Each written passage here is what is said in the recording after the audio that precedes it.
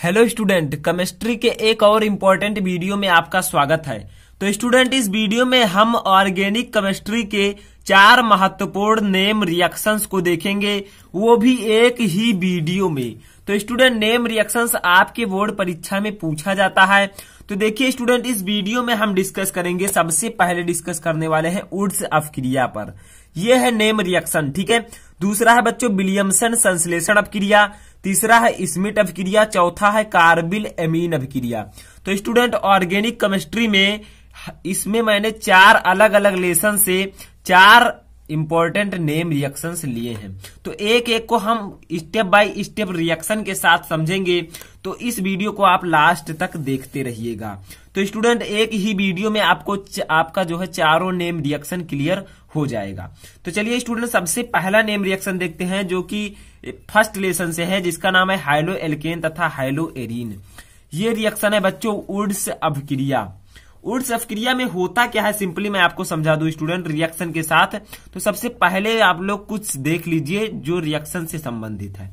देखिए स्टूडेंट जब alkyl halide की सोडियम धातु से क्रिया शुष्क ईथर की उपस्थिति में कराई जाती है तो एल्केन बनता है और इसी अभिक्रिया को कहते हैं उड्स अभिक्रिया। अब बच्चों, यहाँ पर तीन पॉइंट आए हैं। नंबर वन है बच्चों एल्किल हाइलाइड चारों अभिक्रियों को लास्ट तक देखिएगा।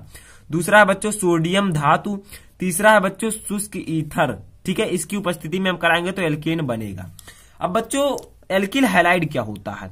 आर एक्स सूत्र के जो यौगिक होते हैं एल्किल हाइलाइड कहलाते हैं। आर है बच्चों एल्किल एक्स है हाइलाइड अब आर के स्थान पर हम लिख सकते हैं C H three X halogen है स्टूडेंट तो हाइलोजन में हम लिख सकते हैं सीएल हाइलोजन जो होते हैं बच्चों, आप लोगों को पता होगा फ्लोरीन है क्लोरीन है ब्रोमीन है आयोडीन है। ठीक है, कुछ भी हम हाइलोजन पर लिख सकते हैं। तो हमने यहाँ पर ये लिख दिया। चलिए हम रिएक्शन करते हैं, समझ में आ जाएगा, ठीक है? तो उर्स क्रिया होता क्या है? एल्किल हेलाइड की जब हम सोडियम की सोडियम धातु से क्रिया कराएँगे शुष्क ईथर की उपस्थिति में तो एल्केन बनेगा, ठीक है? और इसी को हम कहते हैं उर्स अभिक्रिया। तो स्टूडेंट हम लेते हैं इसका रिएक्शन यहाँ पर आर ई लिख देते हैं ताकि आप लोग समझ जाएँ क्या है स्टूडेंट ये एक रिएक्शन है। अब देखिए हम यहाँ पर ले लेते हैं स्टूडेंट टू आर एक्स ठीक है? हमने ले लिया स्टूडेंट आर एक्स और प्लस हमने ले लिया student N A N A क्या है स्टूडेंट? सोडियम, जो मैंने आपको ऊपर बताया है कि इसको भी आपको लेना है बराबर मात्रा में, ठीक है? हमने अब लगा दिया है गिप्स आउट का निशान, जो कि लगाया जाता है, आपको पता होगा, ठीक है? और इसके ऊपर हमें क्या लिखना है स्टूडेंट? इसके ऊपर हमें लिख देना है ईथर। क्योंकि हम इसी की उपस्थिति में तो करा रहे हैं, ये अभिक्रिया अब हमने स्टूडेंट ईथर लिखा। अब बनेगा क्या हमारा? देखिए, सबसे पहले two R X plus two N A है। हमें बनाना है एल्केन। तो एल्केन का फार्मूला होगा बच्चों, आर आर। दो आर हमारा यहाँ पर कंप्लीट होगा। देखिए, इधर दो आर था, इधर भी दो आर हो गया। ठीक है? और हमारा क्या बनेगा बच्चों? एन ए, अभी एक्स बच्चों दो है। तो यहाँ पर भी हम दो लिख देते हैं, ठीक है? तो हमारा हो जाएगा simple student two N A X. समझ में आया? चलिए एक बार पुनः देखते हैं। जब हमने एल्किल हेलाइड आर एक्स के दो मॉलिक्यूल लेकर सोडियम की, सोडियम से क्रिया कराई, सोडियम के दो मॉलिक्यूल से तो ईथर की उपस्थिति में हमने कराई तो ये बना स्टूडेंट एल्केन। इसका नाम है आपके एल्केन, और ये है सोडियम हाइलाइड। ठीक है? अब चलिए हम इस पर स्टूडेंट रखकर देखते हैं, जो यौगिक है हमारे, उनको रखकर देखते हैं। जैसे आर एक्स के स्थान पर मैंने आपको बताया था कि C H three C L ले सकते हैं सी एच थ्री आई ले सकते हैं तो हमने आई ले लिया। ठीक है? समझ लीजिए। और प्लस एन ए ले लिया, जैसा कि ऊपर लिया गया है, ठीक है? इसी के अकॉर्डिंग मैंने, मैं इसको ले रहा हूँ। ये आपका केमिस्ट्रिकल भाषा में है, ये आपको मैं कंपाउंड रखकर बता रहा हूँ। अब देखिए बच्चों सी एच थ्री जो आई है, इसके आपको कितने मॉलिक्यूल लेना है? दो। इसके भी आपको लेना है दो। तो बनेगा क्या स्टूडेंट सी एच थ्री और सी एच थ्री जैसा कि हमने ऊपर लिखा है आर आर ठीक है? और plus two N A I अब चलिए हम यहाँ पर थोड़ा सा नाम इनका लिख देते हैं। ये है बच्चों methyl iodide methyl iodide iodide, ठीक है? जो कि एक, क्या है स्टूडेंट? आयोडाइड, यहाँ पर लिख दीजिए। ये स्टूडेंट मेथिल आयोडाइड जो है, ये एक एल्किल हाइलाइड है, ठीक है? इसका नाम है स्टूडेंट एथेन। दो कार्बन है तो मेथ एथेन, ठीक है? तो ये स्टूडेंट है आपका वुड्स ऑफ़ क्रिया, आई होप कि आपको समझ में आ गया होगा वुड्स ऑफ़ क्रिया वह होती है जब एल्किल हेलाइड की हम सोडियम से क्रिया कराते हैं ईथर की उपस्थिति में तो एल्केन बनता है और इसी को कहते हैं हम उड्स अपक्रिया तो ये था स्टूडेंट आपका फ़र्स्ट नेम रिएक्शन। अब दूसरा हमारा क्या है, मैं आपको ऑलरेडी बता चुका हूँ क्या है स्टूडेंट, विलियमसन संश्लेषण अपक्रिया तो चलिए इसको भी समझ लेते हैं, छोटी सी अपक्रिया है ये भी और काफ़ी ज़्यादा इंपॉर्टेंट है। देखिए बच्चों, विलियमसन संश्लेषण अभिक्रिया क्या होती है, ठीक है? तो देखिए हमने लिखा है यहाँ पर कि किसी धातु एल्कॉक्साइड जब किसी धातु एल्कॉक्साइड की जो है, किसी एल्किल हाइलाइड के साथ गर्म करते हैं तो ईथर प्राप्त करना जो है विलियमसन संश्लेषण अपक्रिया कहलाता है। यानी कि किसी धातु एल्कॉक्साइड को लेकर हम एल्किल हाइलाइड के साथ गर्म करें ईथर और उससे ईथर बन जाए तो इसे हम कहते हैं विलियमसन संश्लेषण अभिक्रिया। ठीक है? अब इसमें स्टूडेंट दो चीज़ें इंपॉर्टेंट है एल्किल हेलाइड और धातु एल्कक्साइड धातु एल्कक्साइड का मतलब धातु के स्थान पर हम ले सकते हैं सोडियम ये भी एक धातु है, ये भी एक मेटल है तो हम लोग इसे भी ले सकते हैं। चलिए हम लोग करते हैं रिएक्शन को स्टूडेंट ठीक है? रिएक्शन कैसे करेंगे? तो स्टूडेंट मैंने आपको बताया अभी कि कोई भी आप धातु एल्काक्साइड ले सकते हैं। जैसे मैं आपको यहाँ पर लेकर दिखा रहा हूँ C two H five O N A ठीक है? अब हम इसे समझ लेते हैं स्टूडेंट इसका नाम यहीं पर लिख लेते हैं ताकि आपको समझ में आ जाए, ठीक है? इसका नाम है बच्चों सोडियम सोडियम एथाक्साइड, ठीक है? अब सोडियम एक धातु है और एथाक्साइड के स्थान पर हमने लिख दिया एल्कोक्साइड के स्थान पर एथाक्साइड। बात यही है स्टूडेंट इसी को हम लोग ने, हम लोगों ने यहाँ पर अप्लाई कर दिया है, ठीक है? अब देखिए स्टूडेंट इसकी अफक्रिया हम कराएँगे किससे? हमने आपको बताया विलियमसन संश्लेषण अभिक्रिया, ठीक है? इसकी अभिक्रिया हम करा देंगे C two H five I C करानी होगी तभी स्टूडेंट बनेगा आपका क्या उत्पाद, ठीक है?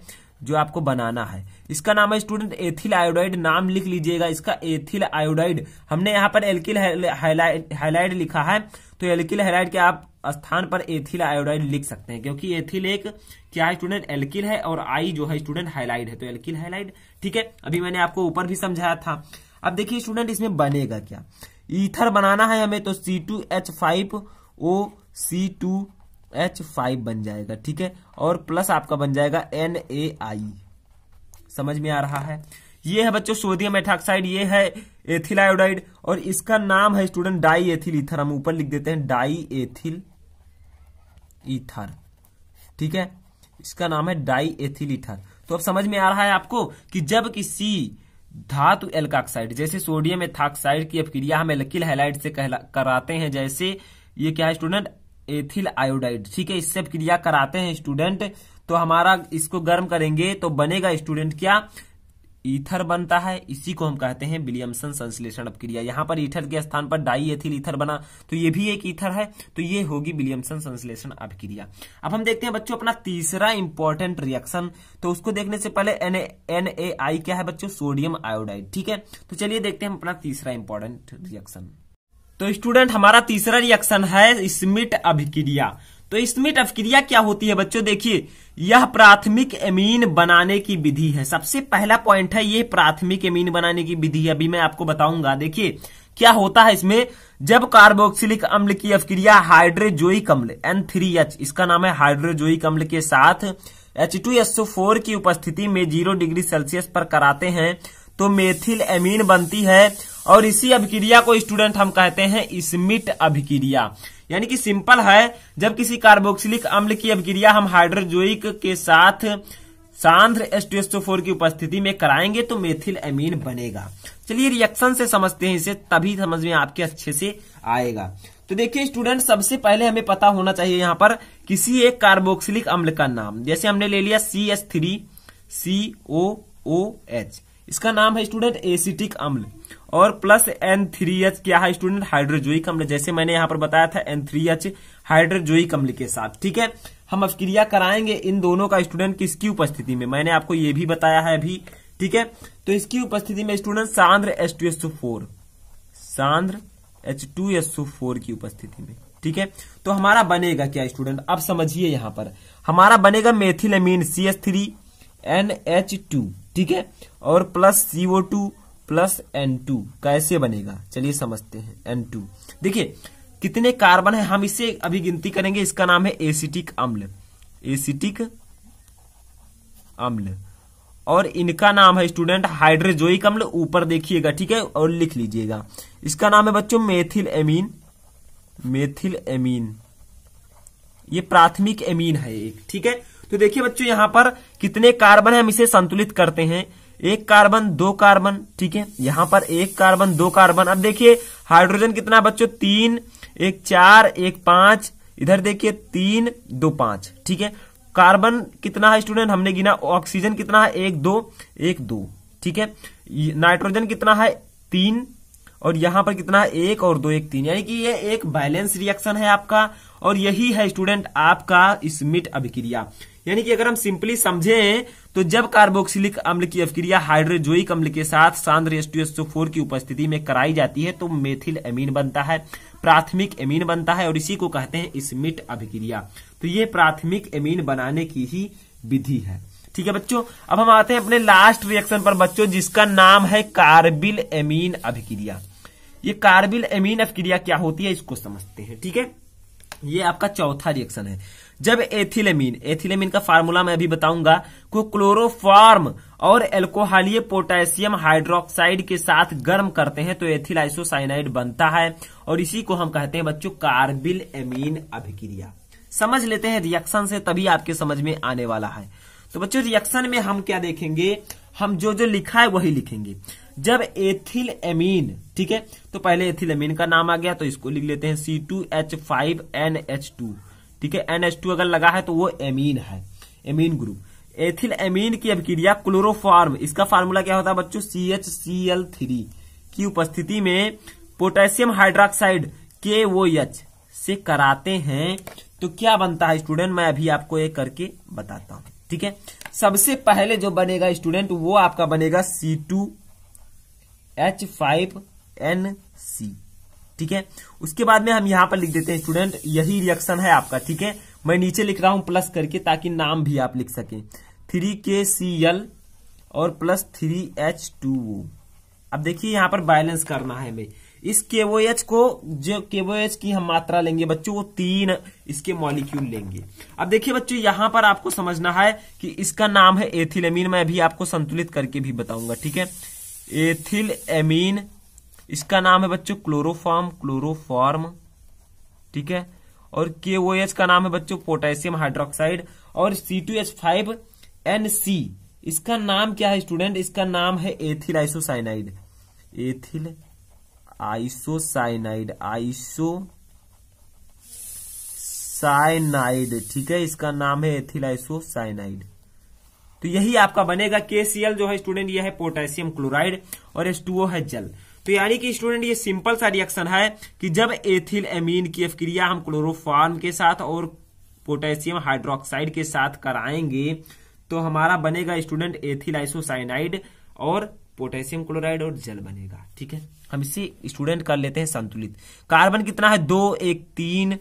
और यहाँ पर कितना है? दो और एक, तीन। ठीक है? वहाँ पर देखिए स्टूडेंट हाइड्रोजन पाँच, दो सात, एक आठ और एक आठ तीन दस, ठीक है? आठ तीन ग्यारह सॉरी स्टूडेंट यहाँ पर देखिए पाँच और यहाँ पर स्टूडेंट छह ग्यारह, ठीक है? तो ये आपका एक वैलेंस रिएक्शन है। तो ये स्टूडेंट था आपका चौथा इंपॉर्टेंट रिएक्शन जो कि था स्टूडेंट कार्बिल एमीन अपक्रिया अब वीडियो के लास्ट में मैं यही कहना चाहूँगा कि स्टूडेंट अगर वीडियो पसंद आया हो तो वीडियो को लाइक कर दीजिए। चैनल पर नए चैनल को सब्सक्राइब करके बेल आइकन को प्रेस कर लीजिए। तो स्टूडेंट ऐसे इंपॉर्टेंट रिएक्शंस मैं आपको अपलोड करता रहूँगा। तो स्टूडेंट इस वीडियो में फ़िलहाल इतना ही। तब तक के लिए थैंक यू